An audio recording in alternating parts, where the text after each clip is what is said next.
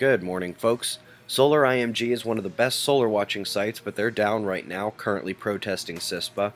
Having a look at notable quakes over the last 24 hours, this is less than 100 miles from the geographic North Pole.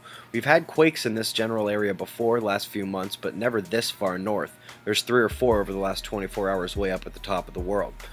We had the largest Caribbean plate quake in about a month as well, a bit south of 5.6 off the coast of Chile, and some moderate seismicity on the southwestern side of India.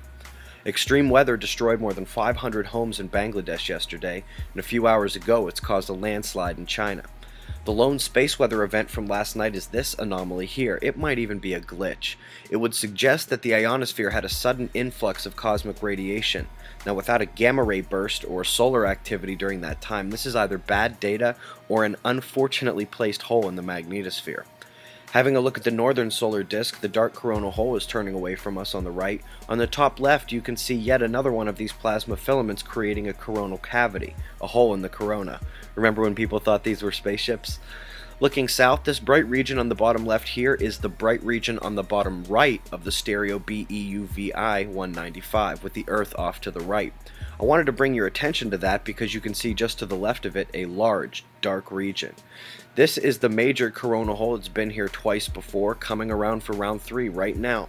You might remember this occurred just days before Saturn opposed the Sun, and when we look at April's significant quakes, we can see a bit of a bunching near that time, fitting our quake model.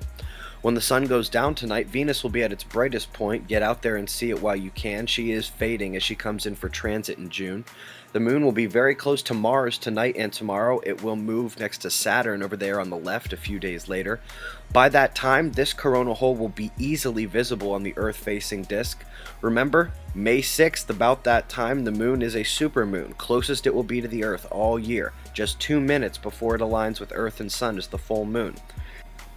That day, Saturn will be geocentrically opposed to Mercury, and it's just a few days before Jupiter will be moving in for a solar conjunction. Repeat quake situation? Maybe.